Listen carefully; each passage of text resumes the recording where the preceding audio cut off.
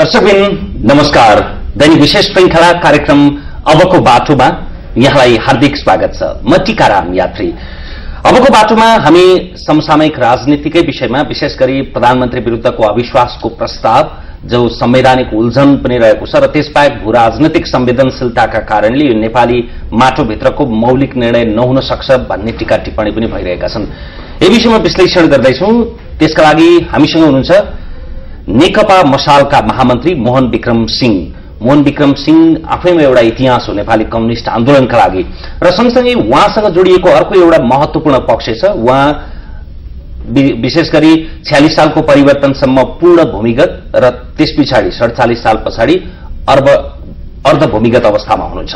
हुन त उहाँका पत्र पत्रिकाहरूमा सुरुमा स्केच आउँथे त्यस पछाडि तस्विर पनि आउँछन्। तर सार्वजनिक मञ्चहरूमा र यसरी टेलिभिजन संवादमा भने उहाँको आवाज मात्रै आउँछ तर अनुहार आउँदैन। त्यो विषयलाई पनि हामी उठान गर्छौं तर समग्रमा समसामयिक राजनीतिका विषयमा केन्द्रित भएर संवाद गर्छौं।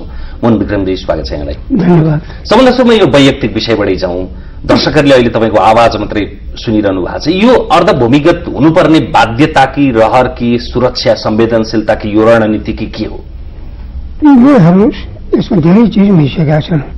मूल रूपमा हामीले हाम्रो पार्टीलाई भूमिगत नै राखेका छौँ।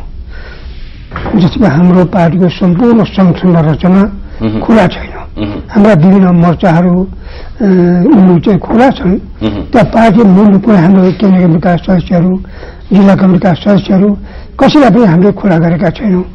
त्यो क्रममा हाम्रो पार्टीका केही केन्द्रका के एकजना प्रवक्ता जिल्ला तहमा एकजना प्रवक्ता खुला हुन्छन्। तर म चाहिँ यो दुवैको बिचमा छु। दुवैको बिचमा छु भन्नुको अर्थ म सबै साथीहरू जस्तो म पुरै भूमिगत पनि छैन। किन खुला रूपमा मेरो नामहरू म पार्टीको महामन्त्री हुँ भन्ने कुरा पनि बाहिर आउँछ। तर म सार्वजनिक मञ्चहरूमा या खुला मञ्चहरूमा या खुला टिभीहरूमा म त्यसरी म जाने गर्दैन। यस अर्थमा अर्धभूमिगत भनेको यसको पछाडिको उद्देश्य के हो भने हाम्रो पार्टीका एकातिर दीर्घकालीन कार्यक्रमहरू हुन्छन् रणनीतिक कार्यक्रम हुन्छन्। अहिलेको व्यवस्थामा विद्यमा आर्थिक सामाजिक व्यवस्था अर्ध औपनिक व्यवस्थामा एउटा आमूल परिवर्तन गर्ने यो लामो सङ्घर्षको बाटो हो। त्यसको लागि लामो सङ्घर्ष गर्नुपर्छ। कोही दशक हुनसक्छ। र हामीले चाहिँ त्यसो न्याय डेमोक्रेटिक क्रान्तिमा दिशालाई जानलाई। त्यो अर्का त्यो हामी त्यो त्यो लामो बाटोको साथसाथै हामी खालि लामो देशको लागि मात्र काम गर्ने तत्कालको राजनीतिबाट अलग हुने भन्ने पनि हाम्रो सोचाइ छैन तत्कालमा देशको राजनीतिक परिस्थितिमा जस्तो हामीले राजनीतिमा पनि हामीले भाग लिने गर्छौँ र सङ्घर्षहरू गर्ने गर्छौँ। विक्रमजी अब यो अरूले भन्दाखेरि आजसम्म पनि अर्ध भूमिगत रहनु र नेकपा मसालका केन्द्रको प्रवक्ता र जिल्लाका प्रवक्ता बाहेक अरू सबै पूर्ण भूमिगत हुनु। केन्द्रीय कमिटीमा को को छन् अथवा त्यसको क्रियाशील सदस्य को को छन् यसलाई केही पनि थाहा नदिनुका पछाडि चाहिँ यो चाहिँ मपाइत्व जस्तो भनेर भन्छन्। किनभने आज कुनै पनि दृष्टिकोणले असुरक्षा छैन। छ्यालिस सालको रूपान्तरण अझ बैसठी त्रिसठी साल पछाडि। सुरक्षाका दृष्टिकोणले पनि त्यसको थ्रेड छैन। एउटा प्रसङ्ग र एउटा कार्यक्रममा त प्रधानमन्त्री केपी ओलीले जो यहाँ केपी ओली लगायत विद्यमान आजका सबै राजनीतिज्ञ विशेष गरी कम्युनिस्ट राजनीतिज्ञको गुरु पनि हुनुहुन्छ। गुरु पूर्णिमाको यो पावन दिन एउटा संयोग पनि छ तपाईँसँग संवाद गर्न पाइरहेछौँ। त्यति बेला उहाँले कटाक्ष अथवा एउटा हाँसी मजाकमा भन्नुभएको थियो देशको प्रधानमन्त्री कार्यकारी प्रमुख मै छु। कतै कुनामा बसिरहनु भएको छ मोहन विक्रमजी यहाँ सार्वजनिक हुनुभयो हुन्छ पनि भन्नु भइरहेको थियो। त्यसैले उद्देश्य चाहिँ के त? किन चाहिँ? त्यो मैले भन्न खोजेको हाम्रो पार्टीका दुई प्रकारका नीतिहरू हुन्छन् एउटा रणनीतिक एउटा तात्कालिक राजनीतिक रणनीतिक भनेको आजको व्यवस्थामा आमूल परिवर्तन गर्ने हाम्रो नीति हो जसको लागि कयौँ दशक लाग्न सक्छ र त्यसको लागि हामीले पार्टीको सङ्गठनलाई हामीले भूमिगत राख्ने निर्णय गरेका छौँ। तर त्यसो गर्नुको अर्थ हामी तात्कालिक राजनीतिबाट आन्दोलनहरूबाट हामीले अम, बौद्ध व्यवस्था ल्याउन चल्ने सङ्घर्ष संविधान सभाको लागि चल्ने सङ्घर्ष गणतन्त्रको लागि चल्ने सङ्घर्ष यी सबहरू हामीले अलग गर्दैनौँ। त्यो कारण हामी आफ्ना मोर्चाहरूद्वारा हामी अरू चाहिँ खुला गतिविधिमा सामेल भएका हुन्छौँ अनि दीर्घकालीन रणनीतिक उद्देश्य पुरा गर्नलाई हामीले आफ्नो सङ्गठनलाई भूमिगत राख्ने एउटा प्रयत्न गरेका प्रणाली- एउटा कार्यप्रणाली र तत्कालको एउटा खुला कार्यक्रमका बिचमा सामञ्जस्यता गर्ने नीति हो। भूमिगत कार्यप्रणालीको लागि हाम्रो पार्टीलाई मूल रूपमा सुरक्षित राख्ने त्यसको लागि आफ्नो संगठनको विस्तार गर्ने जग्गाहरूको निर्माण गर्ने काम हाम्रो पार्टी लगाइरहेको छ। त्यसकारण पार्टी भूमिगत छ। तर हामी त्यसको अर्थ हामी खुला राजनीतिबाट हामी अलग पनि हुन चाहन्छौँ त्यसका विभिन्न मोर्चा जन्म संगठनद्वारा खुला राजनीतिमा हामी आइरहेका छौँ। यी दुईटा बिचको तालमेल गरेर नै हामीले पार्टीको संगठनलाई भूमिगत राख्यौँ र खुला गतिविधिमा हामी अरू विभिन्न मोर्चाद्वारा जाने नीति अपनाएका छौँ। नेपाली कम्युनिस्ट आन्दोलन विशेष गरी नेपाल कम्युनिस्ट पार्टीका रूपमा दुई हजार छ सालमा कलकत्तामा गठन भइरहँदा त्यसका संस्थापक पुष्पलाल पछाडि एक्लो सिद्धहस्त यहाँलाई ठान्थे अविच्छिन्न रूपमा। बिचमा हिलो छ्यापाछाप भयो कम्युनिस्टभित्र पनि। अनेकौं गुट उपगुट मोटो मसाल पाटलो मसाल चौथो महाधिवेशन मानन्दर समूह हुँदै कति रोहित समूह के के भए भए। एक बाम अनेक ठाम भयो। तपाईँ र तपाईँले नेतृत्व गर्नुभएको पार्टी पनि अहिले अत्यन्तै साँगुरो र सानो भएको छ भनिन्छ। किन चाउरिस मरिच आफ्नै पिरोले रागले भने जस्तो। त्यो आरोप यहाँलाई पनि लाग्ने गर्छ।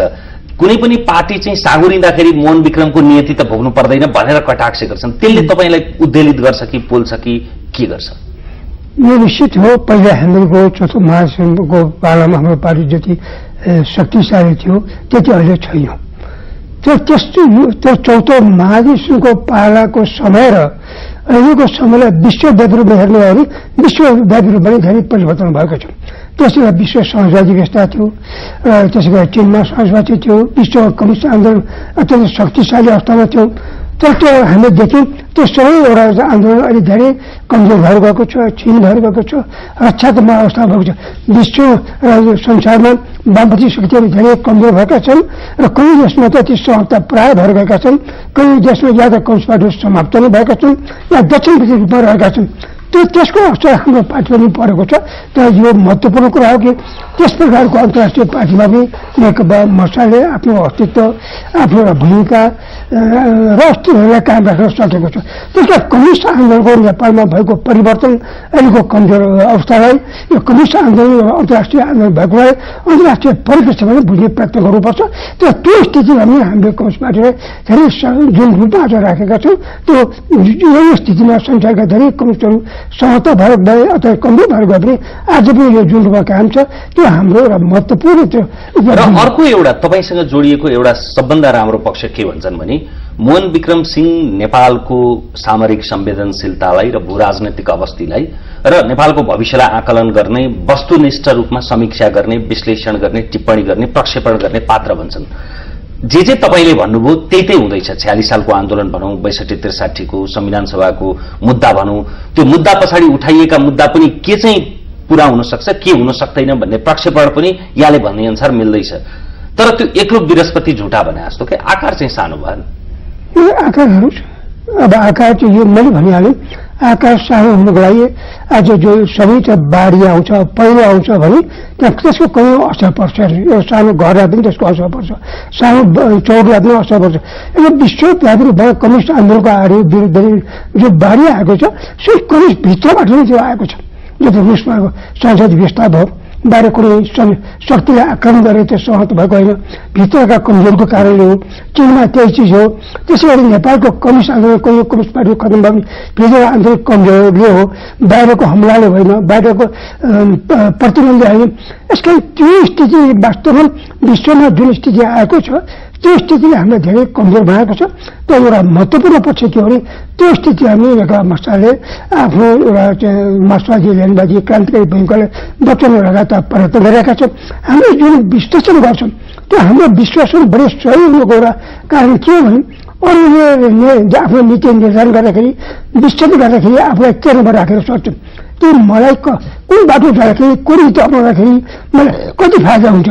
पद मुख्य मिल्दैन प्रधानमन्त्री बच्चो बन्दैन यो यस्ता धेरै चिजहरू हेरेर सोध्छौँ त हामीले त्यसो गर्दैनौँ हामीले पनि एउटा वस्तुनिष्ठ भएर अनि एकातिर आफ्नो सिद्धान्त नीति लिएर हामीले आफ्नो विश्लेषण गर्ने गर्छौँ त्यसको परिणामस्वरूप हामीले त्यो हाम्रा धेरै आजका दिनमा त्यो वस्तुनिष्ठ कस्तो विश्लेषण हो जसका कारणले तपाईँहरू पहिलो पटक सरकारमा आउनुभयो तपाईँहरूको खुला मोर्चा।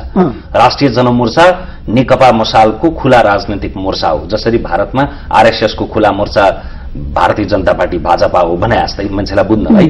यति बेला चाहिँ किन आवश्यकता पर्यो? जसका कारणले पहिलो पटक सरकारमा खुला मोर्चाका अध्यक्ष चित्रबहादुर केसीको नेतृत्वमा सरकारमा जानु पर्यो त। हामीले के बुझ्नुपर्छ भने पार्टीको रणनीति चाहिँ स्थिर प्रकारको हुन्छ। जबसम्म वस्तुगत चिजको परिवर्तन हुँदैन त्यो एकै रहन्छ त्यसमा सम्झौता हुँदैन।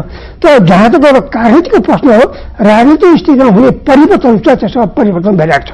त्यस सोचलाई हाम्रा नीतिमा गतकालमा पनि भेट्नुभयो भने अहिले मात्र होइन गतकालमा धेरैपल्ट परिवर्तन हुने गरेका छन्। जस्तै कुनै बेला हामीले चुनावको बहिष्कार गऱ्यौँ कुनै कुनै बेला एउटा उपयोग गऱ्यौँ त्यसमै सरकारमा जानु कार्यनीतिक विषय हो निश्चित रूपमा निश्चित रूपमा। त्यसै गरेर कुनै बेला नेपाल राष्ट्रको विरुद्ध तीव्र सङ्घर्ष गरौँ कुनै बेला छालीसँग बैसठीसँग उसको एकता गरौँ। कुनै बेला महाराजसँग हाम्रो तीव्र सङ्घर्ष भयो त्यो कति बेलामा हुनुहोस् हाम्रो कार्यकर्ता एकता गरौँ। यसले का यसै गरी संसारमा कतिपय देशमा कम्युनिस्टहरूले कुनै दुश्मन शक्तिका विरुद्धको आफ्नो सङ्घर्षलाई लगातार कायम राख्दा राख्दै पनि कतिपय अवस्थामा उनी सरकार पनि भाग लिएका हुन्छ कुनै खास बेलाको खास आवश्यकतामा चाहिँ ध्यान दिएर त्यसैले हाम्रो देशमा पनि अहिले संविधान सभाको लागि हामीले लगातार पैँसठी वर्ष सङ्घर्ष गर्यौँ। र सङ्घर्षको चुनाव भयो। त्यो चुनाव संविधान सभापछि तुरन्तै संविधानपछि खतरा पैदा भयो।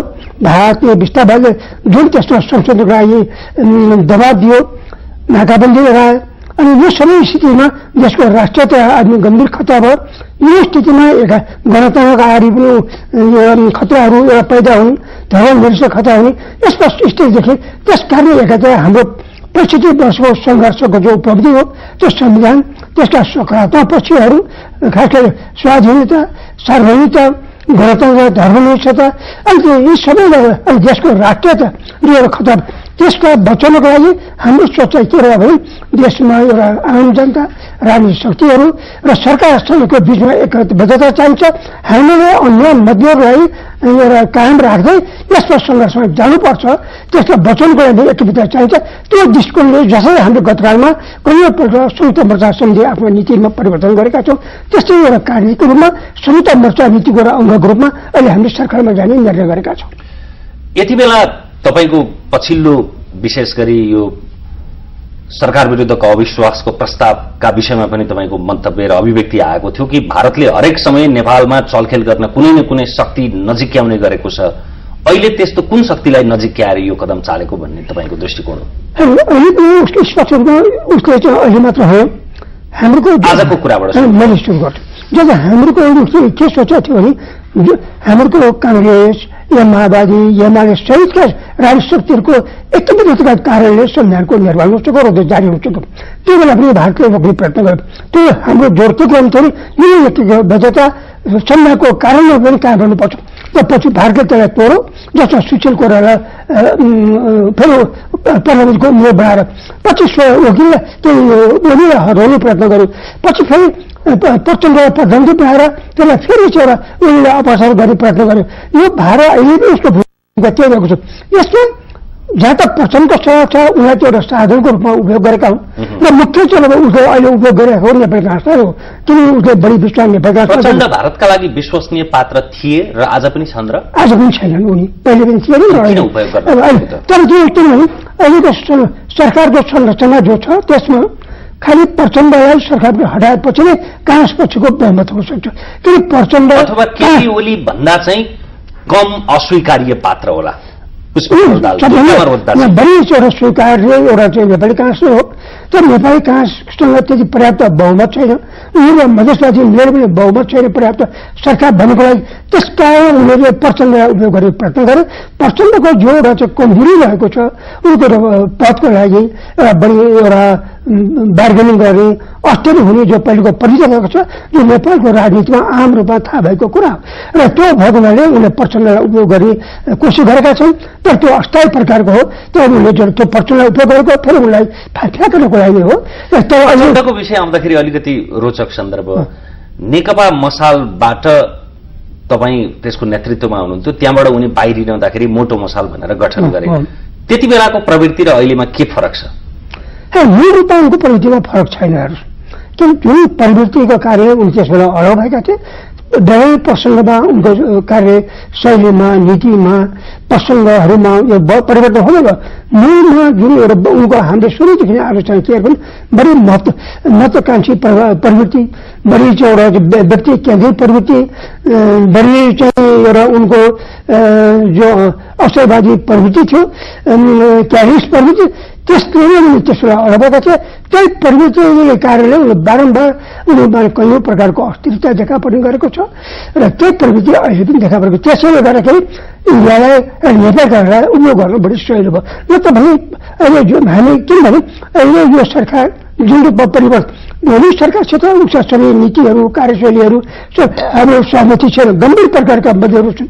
हामीले कयौँ विषयमा खुला रूपमा बाहिर संरक्षण गरिरहेका छौँ संशोधन गरिरहेका छौँ हाम्रो क्षेत्रहरू के छ? स्वयं सरकार भएर पनि त्यो सङ्घर्ष अगाडि बढाइराख्नु छ तर त्यही पनि अहिले जुन देशको यो संविधानको निर्माण त्यसका सकारात्मक पक्षहरू घर गणता धर्म निरक्षता राखेको छ भने यो अहिले बनेको गठबन्धनको काम गर्नु पर्थ्यो भन्ने हाम्रो सोचाइ त्यसकारण एउटा हुन त चित्रबहादुरजीसँग पनि यो प्रश्न गरिएको थियो। तपाईँ अझ त्यसको त्यो पूर्ण मोर्चाको महामन्त्री संविधान कार्यान्वयन गर्न भनेर सरकारमा जाइन्छ। हुन त त्यसको मूल प्रयोजन भए पनि नभए पनि संविधान जारी भए पछाडिको पहिलो सरकार हो र त्यसको कार्यान्वयन गर्ने। संविधानका मूलभूत रूपमा तीनवटा पक्षको कुरा गरौँ। हुन त अरू थुप्रै पक्षहरू होलान्। एउटा गणतन्त्र एउटा संघीयता र एउटा धर्मनिरपेक्षता सकारात्मक विभेद समावेशिता यी सबै विषय होलान्। तर तिनीहरू मध्ये संघीयताको चाहिँ तपाईँहरू जरैदेखि विरोध गर्ने खुला मोर्चा पनि र मसाल पनि र फेरि उप प्रधानमन्त्रीको हैसियतमा आफ्नै खुला मोर्चाको पात्रलाई सरकारमा पठाउने र यो संविधान कार्यान्वयन हुन्छ उत्कृष्ट संविधान भन्न लाउने कहाँ मिल्यो यो। यसमा एकदम स्पष्ट छ त्यो हाम्रो पार्टीले जो मैले भने रणनीतिमा हामी एकदमै स्थिर हुन्छौँ। कार्यनीतिक वस्तुमा हामीले कुनै प्रकार सम्झौता गर्छौँ हामीले कति नीति परिवर्तन गर्छौँ खास संहिता मोर्चा भनेको के हो भने मसँग हाम्रो गम्भीर प्रकारका मध्य सहमति भएको विषयमा एउटा चाहिँ एकता हो। हामीले जुन बेला सङ्घीय गणतन्त्रको प्रस्ताव पास भयो संहिताको पहिलो बैठकमा त्यस बेला हामी एउटा चाहिँ हामी स्पष्ट गरेका थियौँ सङ्घीयतासित हाम्रो मध्य कायम राख्दै हामीले गणतन्त्रलाई चाहिँ हामीले समर्थन गर्छौँ। तर संहिताको नाममा गणतन्त्र अभियान हुन पर्ने कुरामा हामी पक्षमा छैनौँ। संहितासित हाम्रो सङ्घर्ष कायम रहन्छ। तर त्यसको कारणले हामी गणतन्त्रलाई हामीले कमजोर पार्न हामी चाहँदैनौँ। त्यो नीति त्यस बेला पनि गएको छ र त्यसले संहिताको जस्तो वाक चातुर्य र सिद्धान्तको ठ्यासाफुहरूमा रमण गर्ने पात्रलाई रणनीति र कार्यनीति अङ्ग्रेजीमा ट्याक्टिस र स्ट्राटेजीका विषयमा अब जसरी पनि व्याख्या गर्न सकिएला। तर त्यो आफ्नो तर्कलाई आफ्नो कमजोरीलाई छिपाउन खालि रणनीति र कार्यनीतिले मात्रै पर्याप्त हुन्छ त? किनभने यो संविधानको कार्यान्वयन गर्नका लागि यसका मूलभूत सिद्धान्तमा म सहमत छु भनेर सरकारमा जाइन्छ नि। होइन र? सङ्घ भन्नुको अर्थ के हो भने सङ्घलाई हामी समग्र रूपमा बुझ्नुपर्छ संहिताभित्र के छ भने त्यसका संशोधनका धाराहरू पनि छन्। मैले प्रश्न संहिता राम्रो नराम्रो भनिरहेको छ। तर संहितालाई अंगीकार गरेको संविधानलाई कार्यान्वयन गर्दै उप प्रधानमन्त्रीको हैसियतमा उत्कृष्ट संविधान भन्दै हुनुहुन्छ। संविधानको एउटा भित्र चाहिँ संसदका धाराहरू पनि छन्। त्यसमा संहिता त्यो संविधान सुधार गरिँदैन हामीले त्यसमा कुनै पनि धारालाई संशोधन गर्ने विरोध गर्ने बेले मत प्रयोग गर्ने अधिकार हामीलाई संविधानले दिएको छ। त्यसमा संविधानको अधिकार अन्तर्गत खालि हामीले देशमा राष्ट्रियता स्वाधीनता सार्वजनिकता सत्ता विषय हामीले सम्झौता गर्न सक्दैनौँ। र त्यसमा हामीले संशोधन गर्न सक्दैनौँ। अरू कुनै पनि विषयमा संशोधन गर्न सकिन्छ। त्यो अधिकार कायम राख्दै हामीले संविधानलाई स्वीकार गरेका छौँ। अलिकति अन्तर्राष्ट्रिय सन्दर्भको कुरा गरौँ। भारत र चीनको बीचमा हामी छौँ मित्र फेर्न सक्छौँ छिमेकी फेर्न सक्दैनौँ। त्यसैले हामीलाई मन नलाग्दा त यहाँ कतै बसाइसक्न सकिँदैन पात्र सकिएला देश सक्दैन। यो बीचमा भारत र चीन हाम्रा लागि कस्ता मित्र अथवा शक्ति हुन् र हामी उनीहरूसँग कस्तो सम्बन्ध राख्नुपर्छ कस्तो राखिरहेका छौँ? भारत र चीन धेरै हाम्रा मित्र हुन् भौगोलिक हामीले राजनीतिक प्रकारले जुन प्रकार मध्यम भयो भने बेलबेली कालमा त्यो पैदा भयो भने उनी दुवैको नेपालको लागि घनिष्ठ एउटा चाहिँ नेपालको सम्बन्ध छ। पृथ्वीनारायणको भनाइ अहिले पनि लागू हुन्छ। नेपाली दुईटा देशको बीचमा छ र यो दुईटैसँगको हाम्रो सम्बन्धले महत्व राख्छ। तर त्यसका साथै हाम्रो कठिनाइ पनि छ। र त्यसमा भारतसित हाम्रो परम्परा सम्बन्ध छ त हामी के देखेका छौँ भारत र चिनसँग दुवैसँग ऐतिहासिक विभिन्न कालखण्डमा कहीँ नराम्रो अवस्थामा पैदा हुने गरेका छौँ।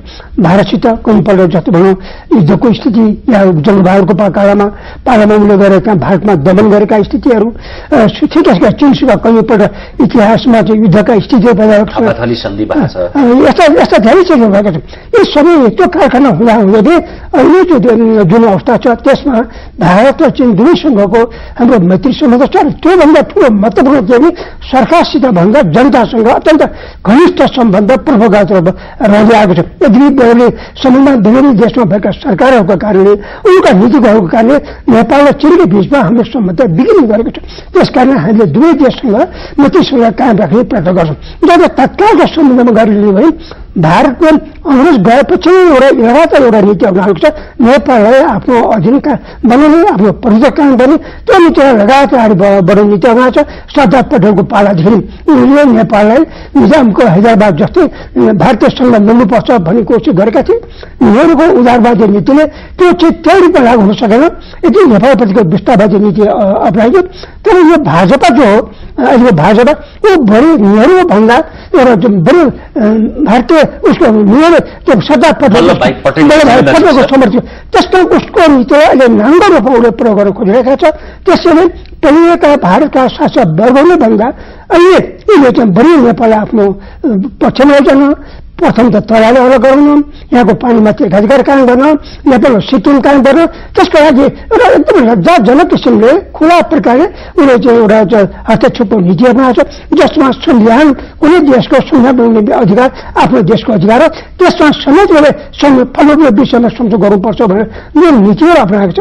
त्यसले गर्दाखेरि भारतको नीतिले हामीलाई बढी गम्भीर खतरा पुगेको छ। जहाँ चाहिँ चिनको प्रश्न छ चिनको हमेसा त्यो चिनलाई सिटको सम्बन्ध भारत भनौँ या चिन भनौँ कुनै पनि देशको सम्बन्धलाई हामीले आफ्नो देशको राष्ट्रिय हित अनुसार राष्ट्रिय आवश्यकता अनुसार हामीले त्यो एउटा निर्धारित गर्नुपर्छ। त्यस्तो हामी स्वतन्त्र हुनुपर्छ। तर भारतले हमेसा त्यही कोसिस गरेको छ। नेपालका भिन्न पार्टी नेपालका शासकहरूलाई आफ्नो पक्षमा मिलाएर चिनसितको सम्बन्ध बढ्न नियन्त्रण गर्दै उसको त्यो नीति रहेको छ।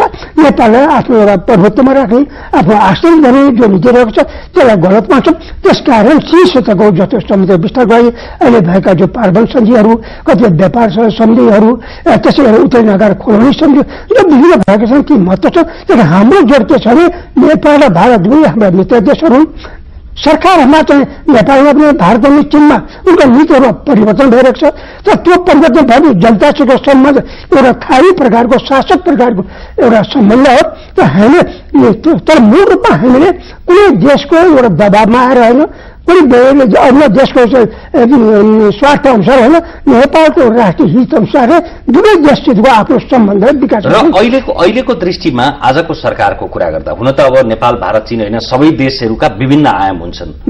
त्यसको स्थिर नीति हुन्छ एउटा। एउटा सरकारमा आए पछाडिको नीति हुन्छ एउटा नागरिक स्तरको नीति हुन्छ। अझ हाम्रो जस्तो सामाजिक सांस्कृतिक भाषिक रूपमा समानता अथवा विविधता भएका देशहरूमा त कति धेरै अरू आयाम हुन्छन् हुन्छन्।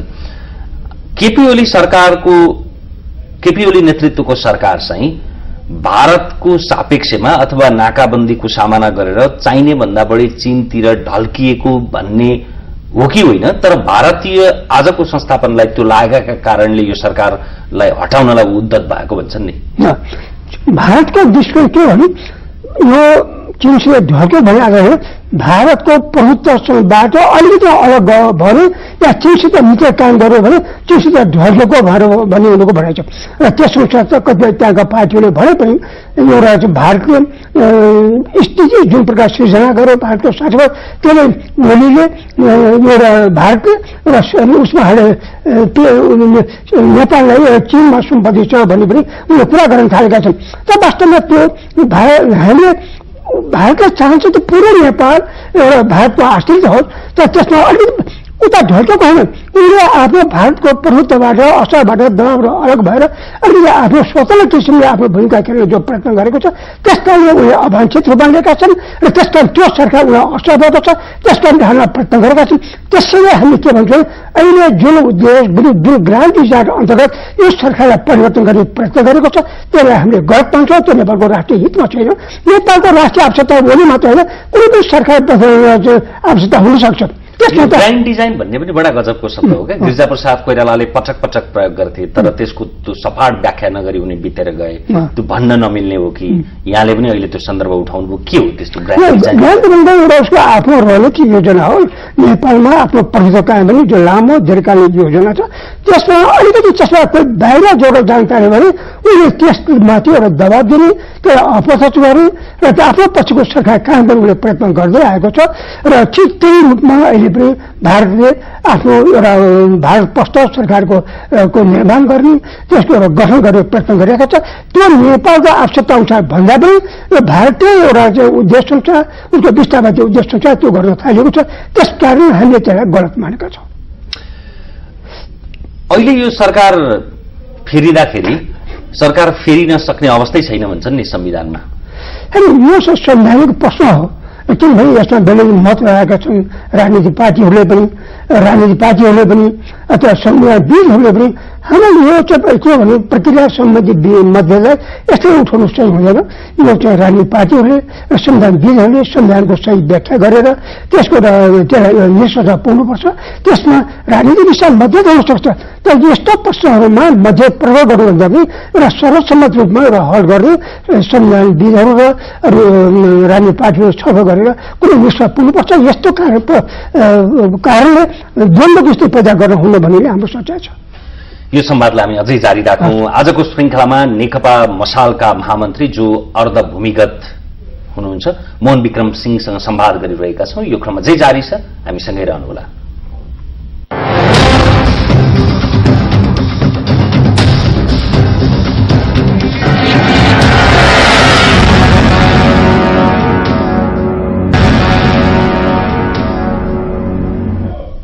पुनः स्वागत छ कार्यक्रम अबको बाटोको श्रृङ्खलामा। आज हामी अर्ध भूमिगत नेता नेकपा मसालका महामन्त्री मोहन विक्रम सिंहसँग संवाद गरिरहेका छौँ।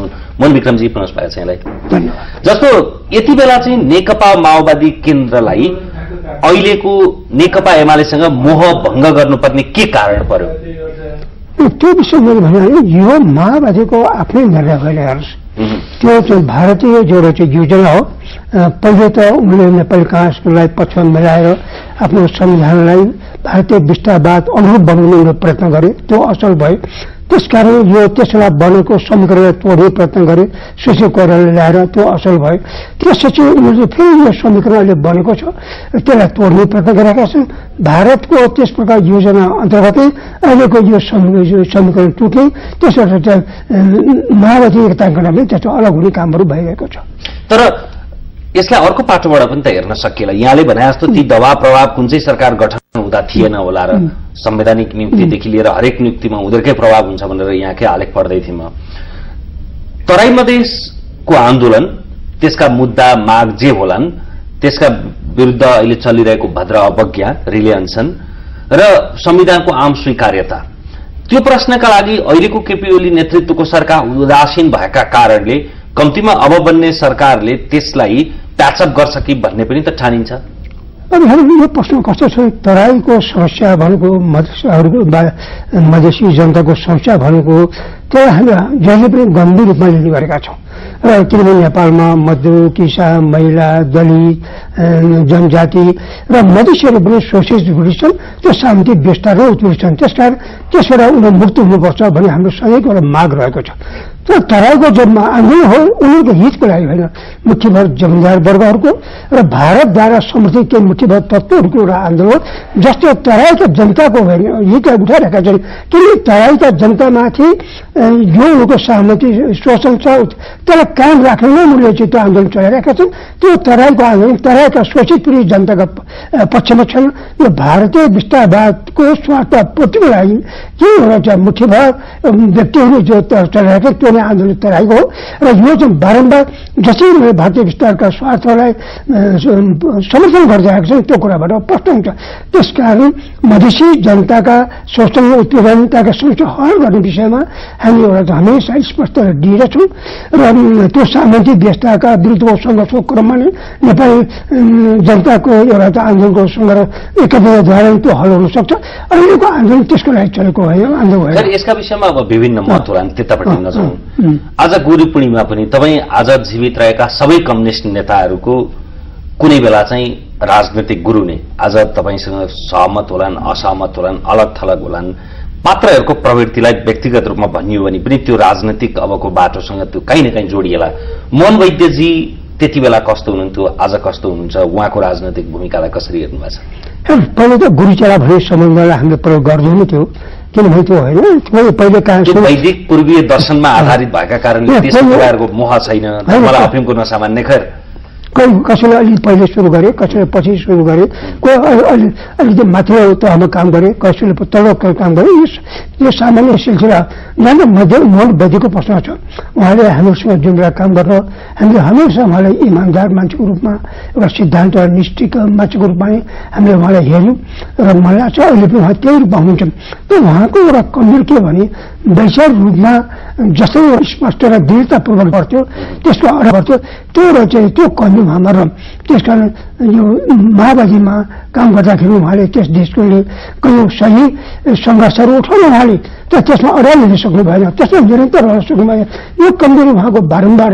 यो तत्कालको विषयमा हेर्ने हो भने उहाँले नेपालको तात्कालिक रानी सन्दर्भमा अहिले सैद्धान्तिक रूपमा रणनीतिकमा जुन विचार भएको छ राष्ट्रसँग जुन विचार अपनाउनु सही मानेका छौँ। कार्यदिशाको प्रश्नमा तात्कालिक कार्यनीतिको प्रश्नमा उहाँले सही नीति अपनाउनु छैन भन्ने हामीलाई लाग्छ। जस्तो उहाँहरूको चाहिँ यो चाहिँ अहिले चाहिँ गएर संविधान सभाको व्याख्या गर्ने संविधानको विरोध गर्ने त्यसलाई खारेज हुनुपर्छ माग गर्ने लोकतान्त्रिक एउटा गणतन्त्रको विरोध गर्ने जुन प्रकार सोचाइहरू उहाँ आएका छन् त्यसले मार्क्सवादी लेनिनका सिद्धान्तसँग मेल खान्न त्यसमा त्यो उहाँको गलत सोचाइ हो। त्यसले यो कार्यनीतिक रूपमा तात्कालिक कार्यनीतिक रूपमा उहाँले सही सोचाइ लिन सक्नुभएको छैन यो उहाँको एउटा मूलभूत एउटा कमजोर हो भन्ने हामीलाई लागेको छ। डाक्टर बाबुराम भट्टराई। र यो डाक्टर बाबुराम भट्टराई कतिवटा प्रश्नहरूमा उहाँले सही एउटा निर्णयहरू जस्तै उहाँले यो पार्टीभित्र जो पहिले पार्टीमा जस्तो एउटा राजा प्रश्न सोचाइ थियो र चाहिँ उहाँहरूको खालि बम बहुदलीय पक्षका शक्तिहरूमाथि बढी आक्रमण गर्ने र चाहिँ राजावादीहरूसँग बढी सम्झौता प्रस्ताव गर्ने र यहाँसम्म चाहिँ उहाँले सोही सुगा गरे अनुसार राजासँग अवश्य कार्यकर्ता एकताको जो नीति अपनाउने जुन उहाँको त्यसबेलाको नीति थियो त्यसलाई एउटा त्यसका ठाउँमा एउटा अलिक गन्तव्यको पक्षमा उसको पक्षमा बहुदलीय आन्दोलनको पक्षमा ल्याउनलाई उहाँको महत्त्वपूर्ण भूमिका र त्यसलाई एउटा हामीले सकारात्मक रूपमा हामीले लिएका छौँ।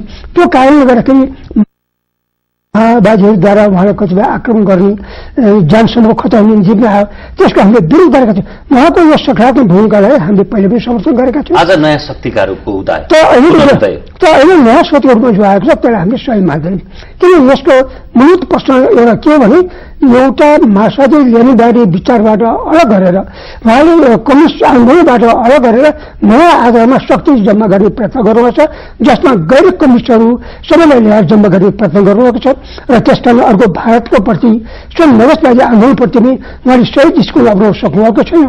र यो चाहिँ यस्तै एकातिर कम्युनिस्ट आन्दोलन अलग भएर अहिले भारत भारतसँग र मधेसवादीहरूसँग बढी नजिकको सम्बन्ध कायम राखेर गैर कम्युनिस्टहरूको आधारमा जो शक्ति ल्याउने प्रयत्न गर्नुभएको छ यसै मूलभूत रूपमा कम्युनिस्ट आन्दोलन अलग गर्ने जो प्रयत्न गर्नुभएको छ यो उहाँको सैद्धान्तिक विषय हो यो अवसरवाद हो त्यसका हामीले गलत पक्षहरू आलोचना गर्छौँ पुष्पकमल दालको त अघि भन्यो यद्यपि यद्यपि। पुष्पकमल दालका अरू पक्ष अरू पक्ष। भन्दाखेरि उहाँको एउटा चाहिँ मैले सुरुदेखि भने उहाँलाई सुरुदेखि नै हामीको हामीले विरोध गरेको आलोचना गर्यो भने अत्यन्त क्यारिस्ट प्रकारको अत्यन्त व्यक्तिवादी प्रकारको अ, अझै व्यक्तिगत महत्वाकांक्षा आधार काम गर्ने चाहिँ उहाँको जो कमजोर हो। र त्यसको कारणले उहाँले गलत बारम्बार कमी विचारहरू लिनुहुन्छ उहाँले आफ्नो स्वार्थ आफ्नो फाइदाको लागि आफ्नो व्यक्तिगत महत्वाकांक्षाको लागि, पदको लागि आफ्ना सिद्धान्त, नीतिहरूमा सम्झौता गर्न त्यसलाई तिलाञ्जली दिने भने कुनै कमी मान्नु, कम मान्नु हिचकिचा हिचकिचाउनु हुन त्यो उहाँको मूलभूत कमज़ोरी हो। त्यसको परिणाम के हो भने आज उहाँ चाहिँ अफिसर रूपले भारतको जो नेपालमा आफ्नो स्वार्थपूर्तिको लागि यो सरकारलाई विघटन गर्ने अपत गर्ने जुन चरण हो त्यसको पनि उहाँ चाहिँ एउटा साधन बन्न पुग्नु भएको छ। यो उहाँमा भएको त्यो कमजोरीले उहाँलाई यस प्रकारको गलत दिशामा ल्याइरहेको छ। विप्लवलाई चाहिँ? विप्लवको चाहिँ विप्लवको विषयमा बढी उहाँको नजिकबाट कहिले पनि सम्झ किनभने यी साथीहरू जो प्रचण्डसँग पनि म कहिले सहयोग कहिले कुनै काम गरिनँ विदेशको सहयोग कहिले काम काम गरेको नभने प्रचण्ड हाम्रो तल्लो तहका कमिटीमा हुनुहुन्थ्यो विभिन्न मोर्चामा हुनुहुन्थ्यो त्यसमा विपक्षको चाहिँ मैले कहिले पनि काम गरेँ आज हेर्दाखेरि आज- उनी जुन मोर्चामा छन् जुन अलग त्यो उहाँको जुन नीति छ त्यसलाई पनि हामी सही मान्दैन किन वैज्ञानिक जुन नीति अपनाउन थियो जतिवटा चाहिँ यो लोकतान्त्रिक एउटा आन्दोलनको विरोध लोकतान्त्रिक पक्षको विरोध गर्ने संन्यासको विरोध गर्ने संन्यासको बहिष्कार गर्ने अनि त्यो सभाको विद्रोहको माग गर्ने यस्ता जुन नीति अपनाउनु त्यो नीति उहाँले लैजानु भएको छ तर त्यसकै अलिकति उहाँले चाहिँ विभिन्न प्रकार अलिकति विभिन्न प्रकारको सङ्घर्षको कुराहरू गरिराख्नु भएको छ सिधै जनयुद्धको कुरा गर्नुहोस् न अहिले औपचारिक रूपमा घोषित रूपमा तर उहाँको जुन तेल छ त्यो चाहिँ तेललाई चाहिँ हामीले सही मानिरहेका छौँ किनभने हामीले अहिलेको स्थितिमा नेपालमा हामीले बौद्ध व्यवस्था गणतन्त्र संविधान धर्म व्यवस्था यो कमजोर पार्यो भने हाम्रो क्रान्तिकारी आन्दोलन गरेर नोक्सान पुग्छ। त्यसले उहाँको जो नीतिले यस्ता कमजोर पार्ने जुन काम गरिरहेको छ त्यसलाई हामीले सही मान्दैनौँ। सिपी मैनाली। श्री मनालको विषयमा खास हामीले केही भनेको छैन। उहाँसँग हामी त्यति नजिक पनि काम गरेन। उहाँको सामान्यत रूपमा कति बेलामा हामी संस्थान काम गर्यौँ। उहाँको त्यस्तो राजनीतिक रूपमा कुनै खास भने हाम्रो केही छैन। नारायणमान बिजुक सेरोई र उहाँको विषयमा उहाँले कतिपय प्रश्नमा राष्ट्रियताको प्रश्नमा अरू कतिपय विषयमा उहाँले सही नीति अपनाउनु आएको छ। र चाहिँ त्यो चाहिँ कहिलेपल्ट हामीले तालमेलहरूमा कार्य गतिका पनि काम गर्ने गरेका छौँ। हाम्रो विचारमा कतिपय नजिकको मेल पनि हुन्छ। त्यो कार्य आफ्नो कार्यशैलीको विषयमा उहाँ र हाम्रो विषयमा कतिपय अन्तरहरू छन् त्यो स्वाभाविक कुरा हो। केपी ओली? केन्द्रको विषयमा उहाँको एउटा पनि उहाँसँग हामीको सम्पूर्ण रूपमा हाम्रो सहमति छैन। जति महाकाली सन्धि गरेरमा उहाँको मुख्य भूमिका रह्यो त्यो त्यो कुरामा चाहिँ हाम्रो ध्यान छ। कतिपय बेलामा उहाँले भारत बस्दा नीतिहरू अपनाउनु भएको छ र यी सबै चिजमा हाम्रो मध्य छ। अहिले पनि सरकारमा गएको बेला पनि उहाँले जस्तो कतिपय विषयमा ठुलो नीतिहरू अपनाउनु भएको छ। जस्तो कि? जस्तो कि भने यो चाहिँ संविधान संशोधन विधेयकलाई चाहिँ पास गराउनु उहाँले पुरा कोसिस गर्नु हो। र त्यसै न्यायका एउटा संवि- संविधानमा तपाईँको दृष्टिमा त सबै कुरा निषेध नै निषेध गरेर बढ्ने निषेध नै निषेध। त्यो त तपाईँले मुठी जति कस्नुहुन्छ अथवा एउटा बेलुनलाई जति थिच्नुहुन्छ त्यति विस्फोट हुन सक्छ नि भने हामीले कसैले पनि हेर्दाखेरि यो जनताले के भन्छ भने कसैमा भएको सकारात्मक पक्ष र नकारात्मक पक्ष दुईमाथि ध्यान दिनुपर्छ। दुईवटा संशोधन संविधानमा दुईवटा संशोधन। त्यो संशोधन भइवरी संविधान किन जारी गर्नु? त्यो प्रश्न छ। हतारमा किन असोज दिन ल्याउनु? त्यो अर्को प्रश्न छ। अनि नाकाबन्दी हुँदै गर्दा अथवा तराई मधेसमा कालो दिन भनेर भनिरहँदाखेरि किन संविधान ल्याउनु? र फेरि उनीहरूकै माग सम्बोधन गरेर दुई बुधे किन ल्याउनु? तपाईँले भने ठिक छ। तर त्यो निषेधको निषेध मात्रै गर्यो भने त त्यो उत्पादक हुन्छ। हामी के छ? धन्यवादले निषेध मात्र गर्दैन त्यसमा भएका स्वभाव त्यतिका एक कमिनुको बावजुद पनि यो उहाँले चाहिँ जति भनौँ संविधानको निर्माणको बेलामा उहाँको लिए- लिएको अडालले महत्त्वपूर्ण भूमिका खेल्यो महत्त्वपूर्ण योगदान दियो। संविधान जारी गर्नु बेलामा त्यस बेला संविधानको भारतले भारतको भयो त दुई वर्ष होइन पाँच दिन होइन दुई दस वर्ष बिस वर्ष पचास वर्ष भारतको सय चौचास संविधान निर्माण चाहिँ रोक्नु पर्दा थियो। त्यस बेला संविधानको निर्माण र जारी गर्नमा जुन एउटा अडान त्यस बेलाका सबै राजनीतिक त्यसलाई एउटा ओली पक्षको महत्त्वपूर्ण भूमिका रह्यो। त्यसमा पछि त्यो त्यो संविधान सबै विधेयकमा भएको कमजोर हामीले आलोचना गरेका छौँ। तर पछि चाहिँ हाम्रा नाकाबन्दीको सन्दर्भमा पनि अहिले लिएको अडान चाहिँ जति भारत भ्रमणको बेलामा भारतीय एउटा दबावमा आएर भारत नेपालका राष्ट्र- राष्ट्रियता विरुद्ध सहमति गरेर उहाँले नगर्नु उहाँले लिएको हरान चिसित सम्झौता गर्नु उहाँले यो सबै उहाँको जो सकारात्मक छ त्यसलाई पनि हामीले संशोधन गरिरहेको छ। तर हामीले कुनै बेला उहाँको इतिहासमा कस्तो थियो भन्ने आधारमा हामी तात्कालिक चाहिँ निर्देश गर्छौँ त्यसो चाहिँ नेपाल काङ्ग्रेसमा हाम्रो कहीँ गम्भीर बात त्यति तर त्यही पनि हामीले सालमा हामीले एकता गऱ्यौँ तर त्यसबाट गतकालमा उसको कुन प्रकारको भूमिका थियो भन्ने कुरामा हामीले ध्यान दिएर त्यसलाई रोकेन। त्यसै केपीका त्यसमा कहीँ कमजोरीमा ध्यान दिँदै पनि हामीले जुन हदसम्म जुन बेला उनीहरू सङ्ग्रह पछि खेलेका छन् त्यसलाई हामीले समर्थन गरेका छौँ। एउटा प्रसिद्ध र इतिहास बनेको व्यक्ति भनेको आफैमा एउटा पुस्तक लेखिसके पछाडि पुस्तककारको मृत्यु हुन्छ कृति नै महत्वपूर्ण हुन्छ भने जस्तै एउटा प्रसिद्ध व्यक्तिका लागि आफ्नो टिप्पणी आफैले गर्न पनि अवाञ्छनीय हुँदैन होला। मोहन विक्रम सिंहलाई चाहिँ कसरी हेर्नु भएको छ राजनैतिक व्यक्तित्वलाई? जहाँ चाहिँ मेरो एउटा सबभन्दा मेरो एउटा सकारात्मक पक्ष भनेको चाहिँ एउटै चिज हो त्यो चिज पनि जुन प्रकार जुन बेला जुन प्रकार नीतिहरू हामीले अप्नाउँछौँ जुन सिद्धान्तहरू अप्नाउँछौँ कुन कार्यक्रम बनाउँछौँ त्यसमा कुनै एउटा सम्झौता नगरिकन अ, कुनै स्वार्थ पछि नलागिकन हामी लगातार दृढतापूर्वक हामीले अगाडि बढ्ने गरेका छौँ यो हाम्रो सम्पूर्ण पक्षको इतिहास छ दोस्रो पक्ष विभिन्न राजनीतिक पक्षहरूका हामीले कतिपय राजनीतिक भए पनि कहिले कसैसँग व्यक्तिगत आलोचनाहरू गर्ने गरेका छैनौँ र हामीले उनकोसँग एउटा अर्को कुरा कति कोही पक्षसँग कति प्रकार गम्भीरसँग विरोध जति काङ्ग्रेससित भनौँ या मानिससँग भनौँ या ओलीसित भनौँ या प्रचण्डसँग भनौँ वैद्यसँग भनौँ विमसँग भनौँ उनीहरूसँग कहिले गम्भीर प्रकार मध्यहरू भए पनि हामीले मिल्न सक्ने विषय सबै मिलेर जाने हामीले प्रयत्न गरेका छौँ। त्यही प्रकार र अर्को आज विश्व कम्युनिस्ट आन्दोलनमा अत्यन्त प्रतिबन्ध स्थिति छ। त्यसले आफ्नो सिद्धान्त र नीतिहरू हामी लगातार अगाडि बढाउने प्रयत्न गरेका छौँ। नेपालको आजको समस्या के हो? नेपाल अगाडि बढ्न नसक्नुका। सबभन्दा पहिलो समस्या यी भाया समस्या त एउटा इन्डियाले हो हेर्नुहोस्। जसले चाहिँ नेपालमा नेपालमा सात साल पछि या इन्डियामा राजनीति परिवर्तन भएपछि नेपाललाई आफ्नो पहिलो काम गर्न प्रयत्न गरिरहेको छ। त्यो इन्डियालाई मात्र दोष दिएर पुग्दैन हेर्नुहोस्।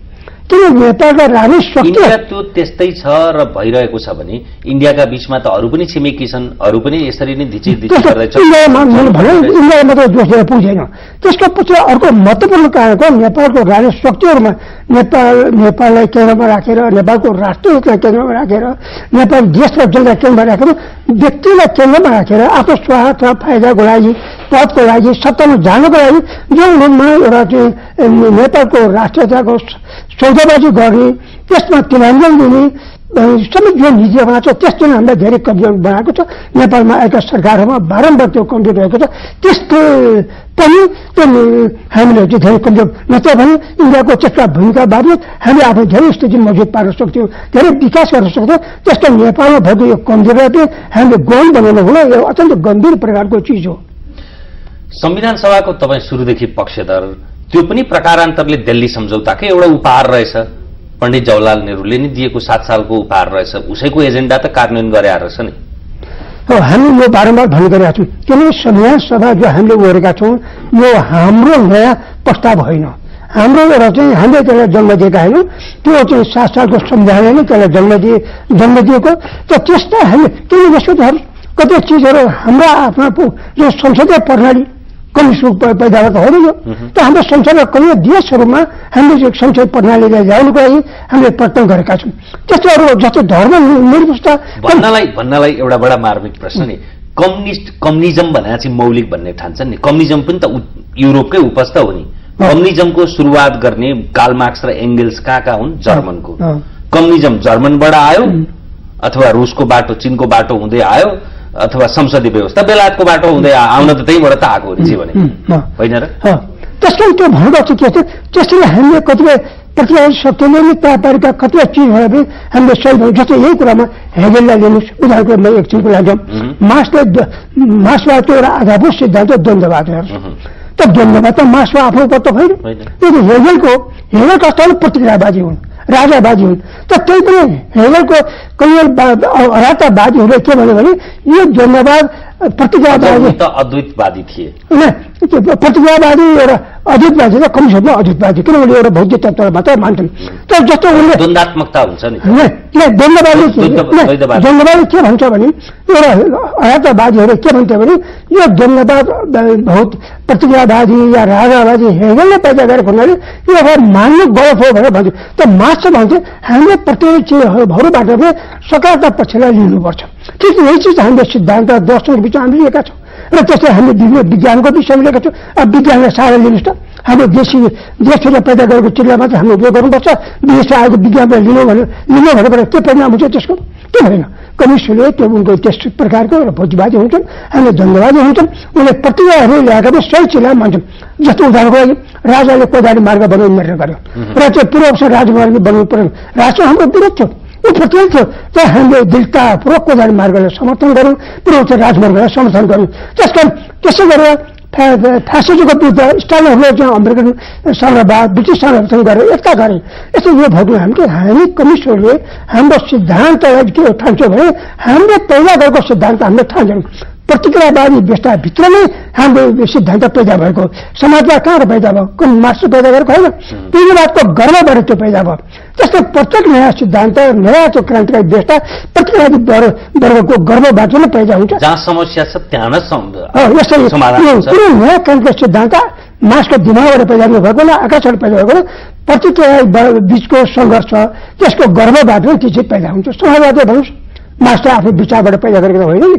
पुँजीवादले त्यसको आधार तयार पार्यो केही विषयमा हुन त अब तपाईँ ज्योतिष शास्त्री होइन त्यसैले त्यो भविष्यवाणी भन्न नमिल्ला त्यही पनि राजनैतिक अनुमान गरौँ केही विषयमा। त्यसैले त्यो लामो अविच्छिन्न श्रृङ्खलामा यहाँका तथ्य र तर्कहरू मिल्ने भएकाले अब कसको नेतृत्वमा सरकार हुँदैछ? अथवा बन्ला यस्ता पनि तत्कालै राजनीतिक विषयमा कुनै भविष्यवाणी गर्न सकिन्न। होइन लामो विषयमा। खालि तात्कालिक यो त देखिएकै छ नि। अहिले हेर्दा सन्तुलन मिल्दाखेरि पुष्पकमल दाल अँ, सबैले। थाहा पायो तर बा अर्कै देख्नुहुन्छ कि तपाईँको दृष्टिमा भनेर नै सोध्या हो यस्तो यसरी हामीले जो गर्छ अहिले अविश्वासको प्रस्ताव आएको छ त्यो र संसद त्यो र संसदमा छ।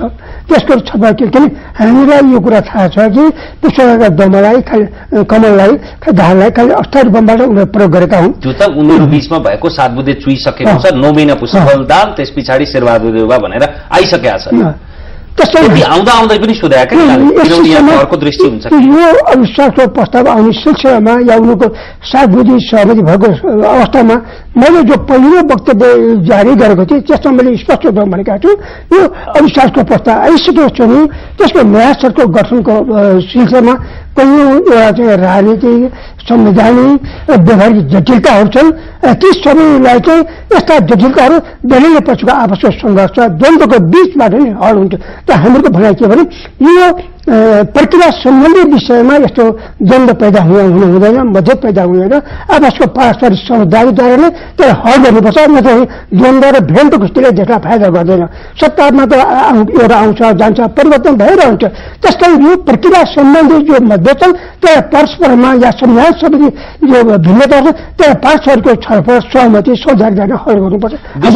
स्रोतहरूले के भन्छन् भने चिनिया राष्ट्रपति सी जिनपिङ जो ब्रिक्सको सम्मेलनमा भाग लिँदै श्रीलङ्का हुँदै नेपाल एक रात बस्ने गरी आउने अक्टोबरमा तय भएको छ त्यति बेरसम्म केपी ओलीको नेतृत्व नै रहन्छ।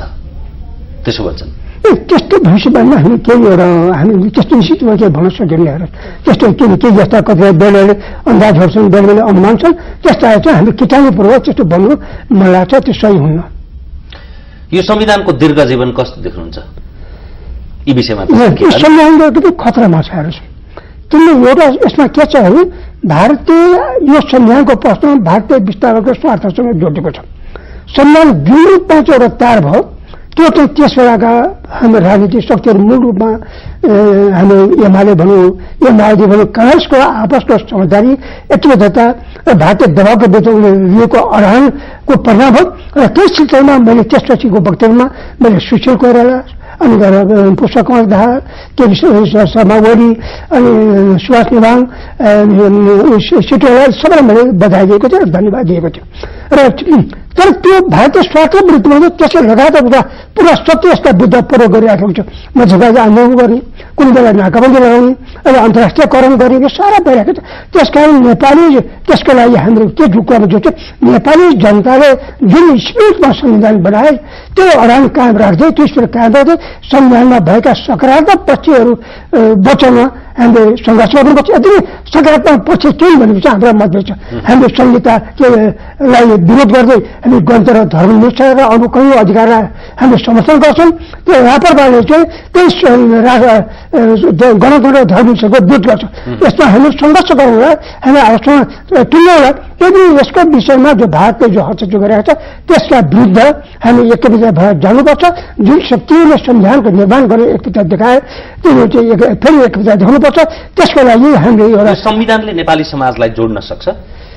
हेर्नु जोड्ने प्रश्नमा यहाँ एउटा गम्भीर प्रश्न पैदा भएको छ नेपाल पसेर भन्दाखेरि तराई पनि आउँछ मधेसवादीहरू पनि आउँछन्। तराई मधेसवादी जनजाति आदिवासी महिला मुस्लिमको मात्रै प्रश्न होइन। अरू कुनै जातिलाई अहिले प्रिभिलेज भनिएकाहरूलाई निषेध गर्ने अथवा त्यहाँ यौनिक अभिमुखीकरण जस्ता विषयहरू लेख्ने एनजिओ र आइएनजिओहरूलाई संस्थागत रूपमा खुल्न सक्छन् भनेर संविधानमै त्यसका विषयमा प्रावधान गर्ने इतिहासलाई दुत्कार्ने सामन्त भन्ने राष्ट्रिय निर्माताका विषयमा उदासीनता देखाउने नेपालको इतिहास भनेको द्वन्दै द्वन्द्वको मात्रै भन्ने संस्कृतिलाई चाहिँ अत्यन्तै अपसंस्कृति भनेर यसलाई उपेक्षा गर्ने त्यसैले यो त अन्तर्विरोधै अन्तर्विरोधको अन्तर्भुक्त जुन समाधान हुन्छ र त्यो- त्यसको अन्तर्गत बिचमा सङ्घर्ष हुँदै हामीले खोज्दै जानुपर्छ।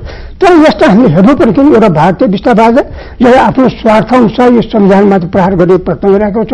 अर्को युरोपियन युनियन र पश्चिमी देशहरू जसले एनजिओ आइएको माध्यमद्वारा र यो चाहिँ जातिवादलाई फैलाएर जो विश्वभरमा उसले जुन नीति अपनाएको छन् त्यसमा नेपालमा जातीय विग्रह पैदा गरेर खोज्छन् क्षेत्रीय विग्रह पैदा गर्छन् यसका विरुद्ध सामना गरेर राष्ट्रिय आन्दोलन चाहिँ हाम्रो सिद्धान्त मध्य छन् त्यसको लागि हामी सङ्घर्ष गर्दैछौँ। तर दुई कोणबाट एकता जातीय क्षेत्रवाद अर्को भारतीय विस्तारको एउटा राष्ट्रिय विघटन गर्ने नीति त्यसका विरुद्ध सङ्घर्ष गरेर नै हामीले संविधानलाई बचाउनुपर्छ हामीले राष्ट्रियतालाई बनाउनु बचाउनुपर्छ हामीले गणतन्त्र धर्मलाई बचाउनुपर्छ यो हाम्रो मत हो। समय सकिया छ। यद्यपि तपाईँसँग यसरी टेलिभिजनमा अन्तर्वार्ता दिँदा तपाईँको दर्शकहरूले अनुहार चाहिँ कहिलेदेखि देख्न पाउने? अनि यो चाहिँ त्यो यो अहिले त सामान्य हाम्रो पार्टीको नीति के हो। भने महामन्त्री चाहिँ अलिक भूमिगत बस्नुपर्छ भन्ने चिज हो। अहिले उमेरले कति पुग्नुभयो? म बयासी। बयासी वर्ष पुगिसक्नु। जीवनकालमा त्यसो भए सार्वजनिक नहुने। होइन यो त के भने चाहिँ पार्टीले जुन बेला महामन्त्रीबाट हटाउन निर्णय गर्छ सिधै म चाहिँ फेरि सार्वजनिक हुन्छु। समय समाजका लागि धन्यवाद यहाँलाई। धन्यवाद। हामीसँग हुनुहुन्थ्यो नेकपा मसालका महामन्त्री अर्धभूमिगत नेता मोहन विक्रम सिंह। अबको बाटोको आजको श्रृङ्खला यति नै। खबरभित्रको खबरका लागि हेर्दै रहनु लाइभ न्युज टेलिभिजन नमस्कार।